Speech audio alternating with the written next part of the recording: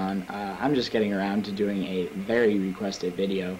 Uh, in my live stream, many times people have requested it. Uh, other times people have asked me on Twitter to do it. I'm finally getting around to doing it. Uh, this in my hand has something to do with it. It is how to set up dual displays on a Mac OS 10 or just with any Mac pretty much. Um, so yeah, but without further ado, let's just get on to it. So things you'll need. First of all, there's my iMac in all its glory set up right there. Um, what you're going to need is, if I can turn my iMac, and I think I'm only, only going to be able to turn it that much, but that's fine. So as you can see on my iMac, these are all the ports, and um, that port right there, very blurry right now. Hopefully my camera will be able to focus on it. That port right there on the very end is what Apple calls the mini DVI port. So what you're going to need for this, uh, if you plan to use a regular Dell monitor or something like that, or Acer, whatever monitor, pretty much any monitor, you're going to need this thing. It's about $20 at Apple, maybe $6 on eBay, $10. Um, it's a mini DVI to DVI. And what this is going to do is this is going to just plug right in there. Uh, wrong way. Yep, simple as that. And then you want to plug the DVI port into here. So obviously you need a DVI port. One should have come with the monitor you purchased. It's not, there, my guess would be around $5, but one should come with the monitor you purchased. You just plug one side right in there. And uh, while I'm doing this, screw it in. While I'm doing this, I just want to tell you guys that I already have it set up in System Preferences um, for landscape mode instead of regular, or portrait mode instead of regular landscape mode.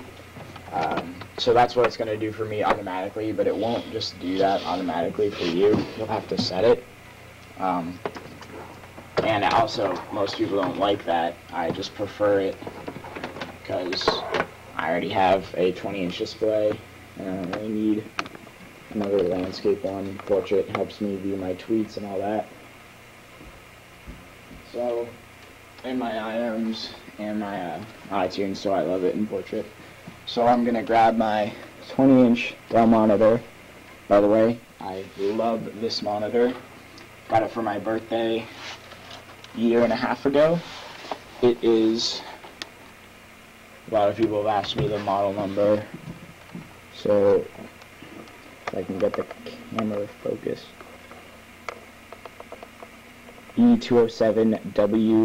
E207WFPC is the model number. This is where the stand goes, but since I use it in landscape mode, I took off the stand. Very easy to take off the stand. You just press that button in and pop off the stand. So now what I'm going to do is connect, if my camera will move.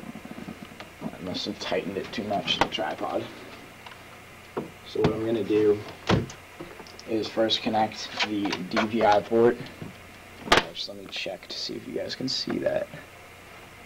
Um, yep, you can. So I'm going to connect my DVI port right in there. Screw that in.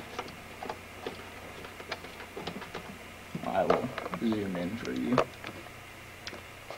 Uh, sorry that this video is kind of slow. I'm testing out my other camera seeing how it does for quality. Uh, I might not even get this video up, but obviously if you were watching it, it did get up. But, I don't know. Comment, by the way, down below on the quality. If you like it better than the uh, external camera I usually use. So then I'm going to plug in the AC. Very simple.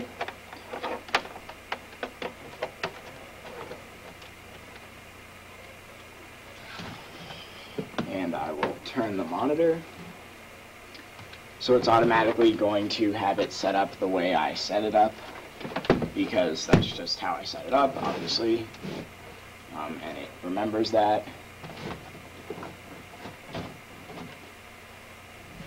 So my background is, yeah. Oh, whoops, I uh, turned it the wrong way. Accidentally turned it off. Or power came out, my bad.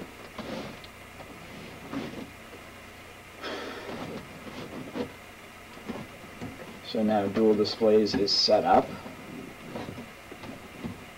And this video is a lot longer than I probably expected it to be. But yeah, after that annoyingness, dual displays is set up on my Mac. And uh, as you guys can see, I can drag stuff from one's one to the other. Very simple. Um, to tweak these settings, you go to System Preferences. Uh, then you go up to Displays. And then basically what you can do is one pops up on each. You can set the resolution, color, everything like that. And then on the main one, you can also set up the arrangement.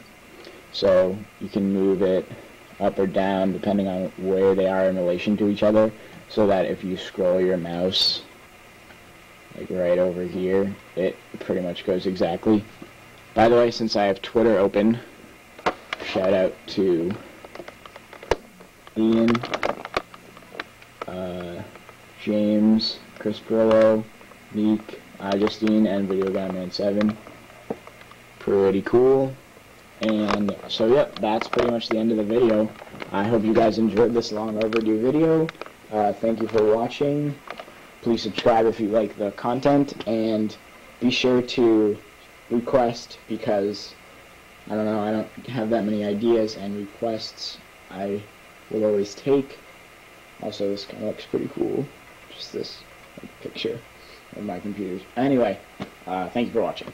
Also, be sure to follow me on Twitter twitter.com slash graterkid95. Link is in the description. Thank you for watching.